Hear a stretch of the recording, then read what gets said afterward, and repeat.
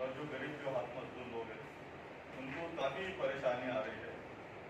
तो इसलिए हमारे जो सदर है, मजलिस इस्तेमाल मुस्लिम डायरेक्टर असदुद्दीन साहब, उनका हुक्म है कि पूरे देश पासिडी के ऊपर हम लोग एक आंदोलन छेड़ेंगे।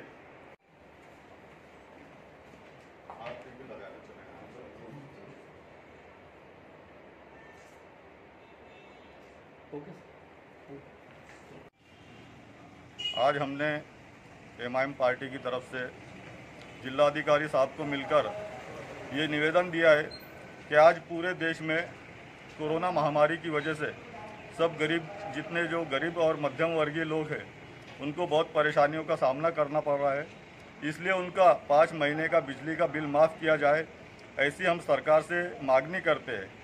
और हम पूरे शहरवासियों से ये विनंती करना चाहता हूँ, ये आह्वान करना चाहता हूँ कि हम लोगों को सह- सहकार्य करने के लिए, सपोर्ट करने के लिए आपसे गुजारिश है कि आज रात को आठ बजे आठ बजे से लेकर आठ बजकर पाँच मिनट तक हमारे घर की पूरी लाइटें बंद की जाए।